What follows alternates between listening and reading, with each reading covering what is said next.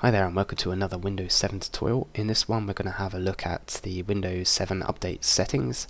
From there you'll be able to change the time and um, if you would like your Windows updates to be automatic or not.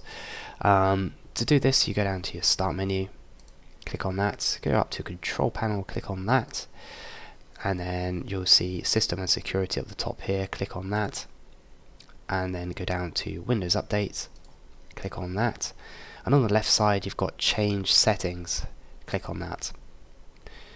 Okay so here we have our options. Um, so here we have important updates. And via the pull down menu you can change the various options here. By default um, it should be selected to install updates automatically and in brackets that's recommended. So this is one I recommend you you have selected Alternatively though you can um, select some other options. Um, there's one here which says download updates but let me choose whether to install them. Um, so basically that will let you know when it's downloaded the updates and it will prompt you um, to install them. The next one is check for updates but let me choose whether to download and install them. Um, so that is so, sort of similar to this one right here except it will um, let you know to download them basically before installing them and the bottom one is not recommended um, it's basically never check for updates um, which basically leaves you vulnerable um, um to uh, secure, there'll be a lot of security holes basically um, if you do not do this and you'll be basically open to attack and things so um, it's certainly not recommended. Okay so under that you've got install new updates. You can choose every day like I have or you can select basically every day of the week and this one here you can select the time you want to uh, do the updates. Um, please note that the uh, your computer will have to be um, turned on for it to be able to do these updates. So um, you could choose uh, a time like sort of uh, 12 o'clock I guess here will be fine. Okay so under, under that you've got recommended updates. Give me recommended updates the same way I receive important updates. Um, I always have that left ticked. Um, I won't bother taking that off really. Um, who can install updates?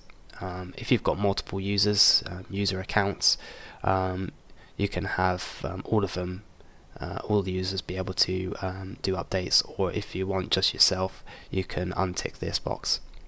Next one is Microsoft Update. Give me updates for Microsoft products and check for new optional Microsoft software when I update Windows. So some of the Microsoft um, software can be installed by having this ticked. Um, software notifications, show me detailed notifications when new Mi Microsoft software is available. Um, you can have that selected if you wish. Okay, so that's some of the uh, basic options there. Um, and when you're basically finished, you just press OK here. I'm going to press cancel for now. Okay, I'm going to show you some of the other options as well. Um, you can check for updates here. If you click on that, it will scan for any updates needed. This might take a little while to do, so please be patient.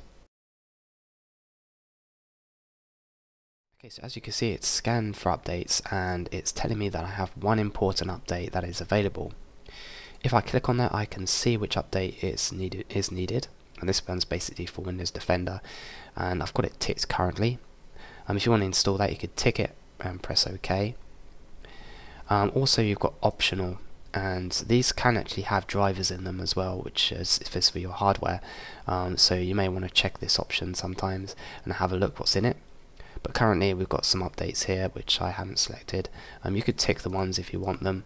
And it gives you a detail on the right hand side about what these ones do okay so we've got all the ones I want ticked and I'll go to OK.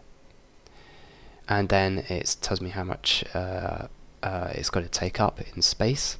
And you could go to install updates right now and it will uh, go through that. And it may even want to restart your computer um, so please be aware of that.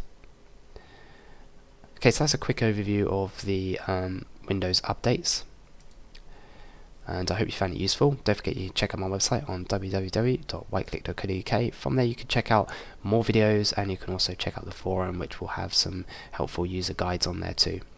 Thanks for watching.